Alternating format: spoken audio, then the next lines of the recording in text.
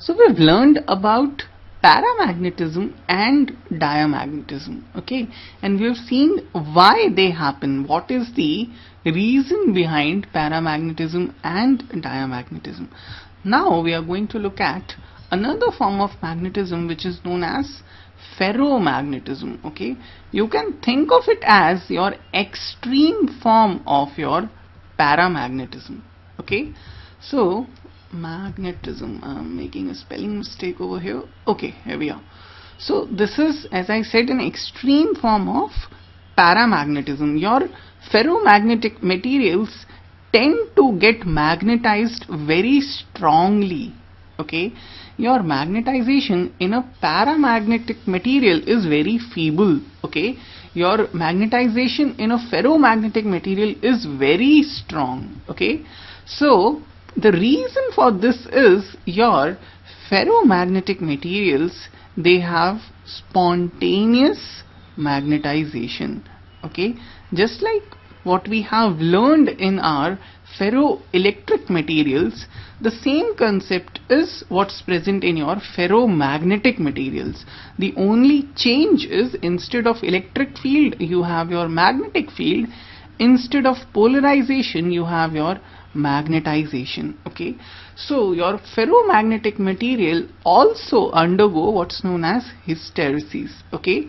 So if you're going to draw a curve between your H which is your magnetic field and M which is your magnetization it's gonna be something like a hysteresis loop okay so initially when you're going to start your magnetization is going to increase like this. First it increases very fast then it increases relatively slower and it attains a saturation value okay? Now if you're going to increase your magnetic field there is not going to be any increase in your magnetization okay and now if you are going to start decreasing your magnetic field it is not going to take this path again. Rather it's gonna become something like this okay?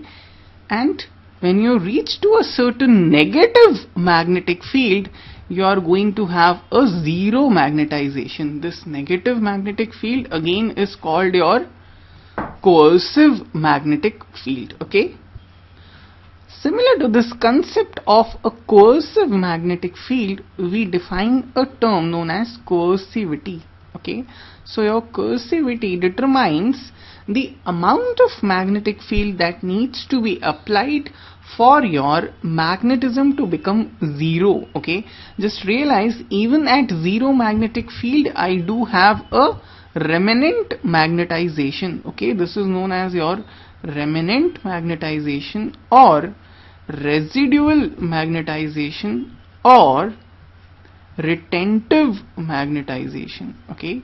So corresponding to this term we have what is known as retentivity okay?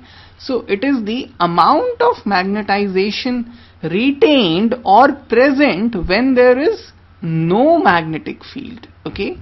So this was your hysteresis loop as you would in decrease your magnetic field. Now if you are going to again increase the magnetic field you are going to trace out a new path which is going to be something like this okay? So this is your hysteresis curve similar to what we have already seen in dielectrics or ferroelectrics okay? Just realize we had earlier seen that my magnetic flux density is equal to mu 0 H plus M okay? In a ferromagnet this factor magnetization is more pronounced okay? This factor basically determines your magnetic flux density okay? So you can pretty well say that your B is almost equal to mu 0 into M okay?